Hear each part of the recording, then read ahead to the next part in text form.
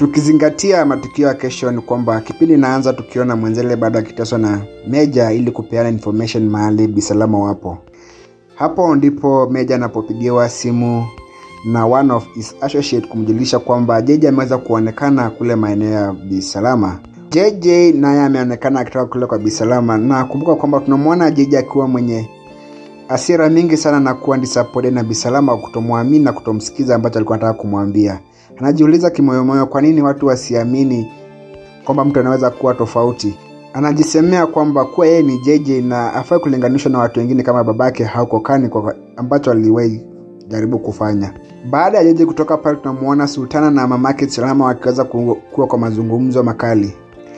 Sultana anamsuta mamake kwa kumtosikiza JJ na kumwambia kwamba yeye tu anataka tu azidi kuwa pale akiteseka, kwa maana amemsikia akimwambia jiji kwamba yeye asharidhia kuwa Sultana ni, ni kipofu na ako sawa akiwa hivyo. Salama anaweza kumwonya Sultana na kumwambia kwamba Jeje yana tofauti na Meja, hiyo familia ndiyo chanzo cha sisi kuteseka.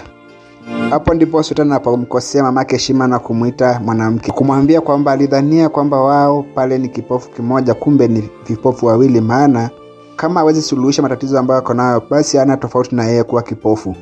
Tukirejea kule nyumbani ya Meja, tunamwona kwamba Bihua anaweza kubembeleza Bisada kwamba amsaidie ili aweze kusave maisha yake Sultana na Bisalama, maana Meja ameweza kutoka pale chumbani akiwa amevaa mavazi yale ya kimeja. Na pia tunamwona pia Bisada akimwambia huwa kwamba kama anataka usaidizi wake basi na pia lazima amsaidie.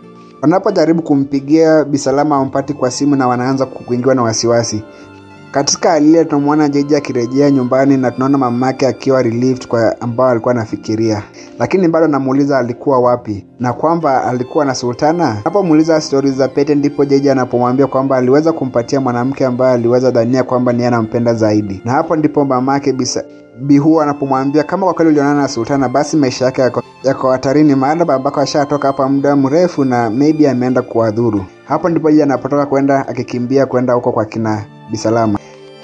Naye Dida anaporejea nyumbani kwao na kuulizwa na mamake Bi Fatma kwamba ameweza kuongea na JJ na kumwambia kwamba JJ yupo pale nyumbani na kule nyumbani akukaliki, anaweza toka hapo na kwenda kwa nyumbani kwa kina mwenzeli ili kumtafuta kaka. Nampata Zuu na Zuu kumpasha kwamba kaka yuko pale, na hapo ndipo Fatma anaweza kumjulisha Zuu kwamba hawezi saidiana na kwamba hata ajipe shughuli. Kipindi inaishia kumwona Zuu akimpigia mmewe ambaye ni Mwezele kumjulisha kwamba Bi Fatma aliweza kuja pale nyumbani, alikuwa anamtafuta kaka. Tupatane siku nyingine ili tuzidi kupashana. Asanteni.